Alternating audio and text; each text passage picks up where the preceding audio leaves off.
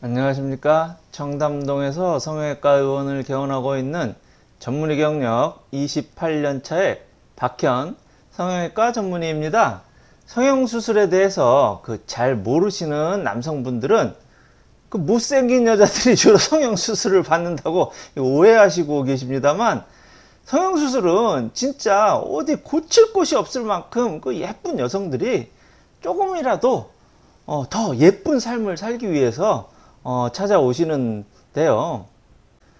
오늘 진료 오셨던 분은 어디 흠잡을 데 없이 고급지고 귀티나는 고 이건희 삼성 회장님의 따님들인 이부진, 이서현 사장님들의 얼굴을 합성해 놓은 듯한 뭐 제가 뭐, 뭐뵌 적은 없습니다만 부티가 나고 귀티가 나는 그런 그 분이셨는데요. 이렇게 예쁘고 좋은 골격도 20대가 지나고 30대, 40대가 되면서 노화가 시작이, 시작이 돼요.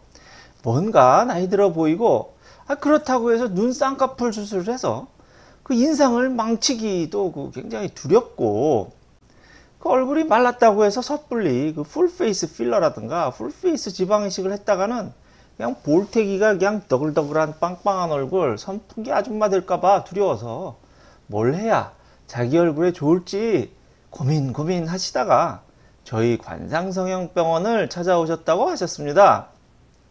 오늘은 그러한 30대, 40대의 얼굴을 보다 고급지고 귀티나게 하는 인중 기울기 각도 교정에 대해서 분석을 해드리도록 하겠습니다.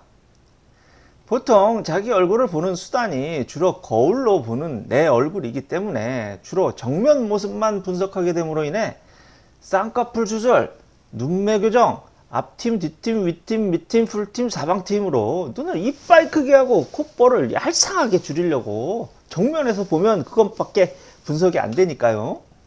그리고 그 정면 얼굴들을 이렇게 위, 중간, 아래로 3등분하여 이마가 넓은지 턱이 큰지를 판단하곤 합니다만 남들이 보는 내 얼굴은 주로 사면이라든가 옆면 쪽 옆얼굴이기 때문에 내가 보지 못하는 입체적인 분석을 본인은 못하지만 남들은 내 얼굴에 대고 평가를 하고 있겠는데요.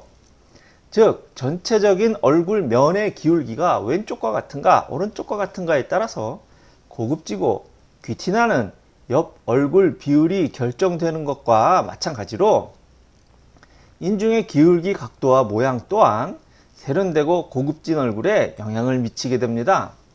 물론 이렇게 코 옆 꺼짐이 없는 장두영의 얼굴을 다 따라가기는 힘들겠습니다만 송혜교, 전지현, 이영애 등의 특급 연예인들의 얼굴이 서양인의 얼굴 골격에 동양인 눈, 코, 입이 붙은 것이라고 제가 말씀드린 바 있듯이 이러한 인중 기울기 각도를 참고하여 성형을 하게 되면 보다 어려 보이고 고급진 얼굴 비율을 만들 수 있겠습니다.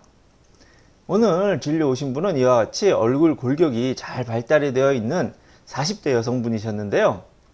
양쪽 관골과 아래쪽 이골이 잘 발달이 되어 있으며 또한 귀 구멍에서부터 관골까지의 거리 그리고 앞턱까지의 거리가 충분히 긴 얼굴 깊이를 가지고 있습니다만 자주색의 팔자주름으로 팔자주름이 꺼져 있음으로 인하여 귓구멍에서부터 팔자주름까지의 거리가 비교적 짧게 되면서 인중이 파란 화살표 모양으로 경사져 있는 얼굴 비율입니다.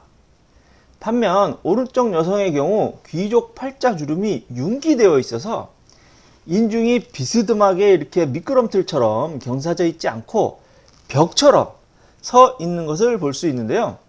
이렇게 인중이 비스듬한가 벽처럼 서 있는가에 따라서 얼굴에 기품이 달라지겠습니다. 성형으로 눈을 크게 하고 코를 얄쌍하게 하고 얼굴을 V라인으로 만든다고 하더라도 귀티나고 고급진 얼굴이 된다는 보장은 없는데요. 입벽된 이마 관상이 그리고 하관 받침의 턱 관상이 그리고 이렇게 경사져 있지 않고 이렇게 서 있는 그 인중 관상이 세련되고 기품 있는 얼굴의 구성 요소라고 오늘 말씀을 드렸고요. 다음 시간에는 이렇게 경사져서 비스듬한 인중 각도를 일으켜 세워서 민효린이라든가 이효리와 같은 인중 각도를 만드는 수술 방법에 대해서 설명을 드리겠습니다.